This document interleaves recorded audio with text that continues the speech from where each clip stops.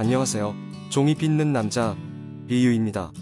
이번 영상은 22.5도 계열에 관련된 이론과 기법을 알려드리겠습니다. 학접기를 비롯한 상당수의 기본형들은 한 개의 축을 가집니다. 이러한 기본형들을 단축 기본형이라고 합니다. 단축 기본형은 모든 가지가 축에서부터 시작하며 쪽 위에 정렬됩니다. 두 개 이상의 축을 가진 기본형의 경우는 다축 기본형이라고 합니다. 현재까지 알려진 종이접기 창작 이론의 대부분은 단축 기본형을 기반으로 합니다. 전개도를 볼 때 기본형의 축에 위치하게 되는 선을 축선이라고 합니다. 축선은 각 기본형 구조의 뼈대를 나타냅니다. 보통 골접기로 표현됩니다. 기본형에서 축 바깥 방향에 있는 선들을 능선선이라고 합니다. 축선이 뼈대라면 능선선은 전체적인 실루엣을 나타냅니다. 능선선은 보통 산접기로 표현됩니다. 종이접기 전개도를 이루는 삼각형, 사각형 등의 다각형을 종이접기 원자라고 합니다.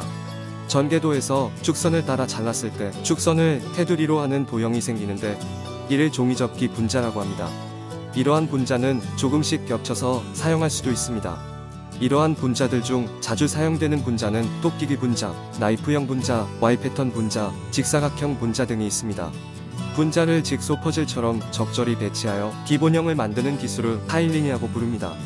일본에선 repeating tile을 줄여 rep-tile이라고 부릅니다. 기본형에서 가지를 특정 방향으로 접을 경우 전개도상에 표시되는 선을 힌지선이라고 합니다.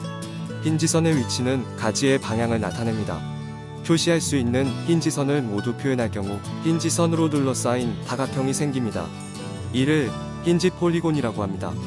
hinge polygon은 전개도상에서 가지를 만들기 위해 필요한 실질적인 면적을 나타냅니다.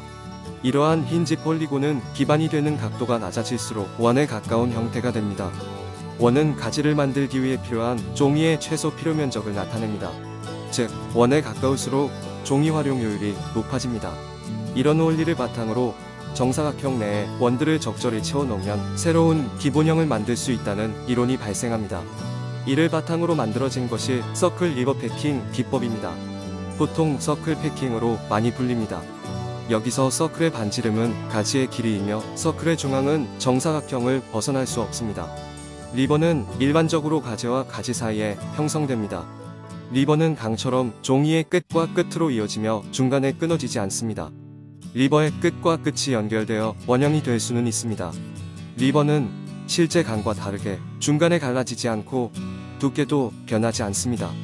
이 구조들은 겹치지 않고 맞닿아 있어야 합니다.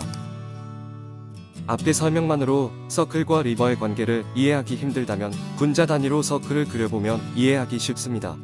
우선 전개도에서 분자 단위로 서클을 그립니다. 그 후 맞닿은 서클 중 작은 걸 기준으로 서클을 완성시킵니다. 그러면 river도 자연스럽게 생깁니다. circle packing을 활용한 창작은 대략 다음과 같은 순서로 진행됩니다. 우선 창작하길 원하는 주제를 잘 고려하여 적절한 수의 circle과 river를 배치합니다. 그 후 각 circle의 중심을 축선으로 연결합니다. 마지막으로 축선 안쪽을 능선선으로 적절하게 채워놓으면 전개도를 완성할 수 있습니다. 이런 과정을 반자동적으로 계산해주는 프로그램도 있습니다.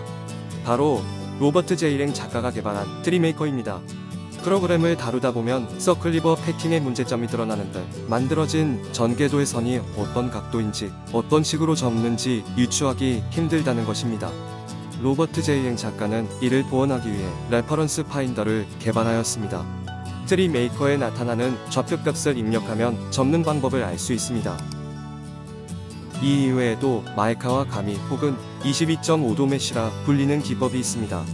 22.5도 선에 방사선을 그린 후 접점들을 중심으로 다시 방사선을 그립니다. 이렇게 하면 22.5도 선으로 이루어진 그물 구조를 볼 수 있습니다. 이 중 필요한 선들을 선택하여 설계하는 기법입니다. 분자를 찾아내어 타일링과 연계할 수도 있습니다. 또한 서클리버 패킹을 접기 쉽게 수정하기 위해 사용하기도 합니다. 이전 영상에서 설명한 범용 기준선이 예시 중 하나입니다. 하필 22.5도 기반을 많이 사용하는 이유는 경우의 수가 적절하기 때문입니다. 예를 들자면 22.5도를 기반으로 하는 삼각형의 수는 5개인 반면 15도 기반의 삼각형의 수는 12개입니다. 종이 활용 효율이 높아지고 표현의 폭이 넓어지는 장점도 있지만 경우의 수가 너무 많아져 다루기 힘들어집니다. 반대로 45도 기반의 박스플릿은 경우의 수가 적어 다루기 쉽습니다. 이번 시간에 알려드릴 것은 여기까지입니다. 다음 시간에 봐요.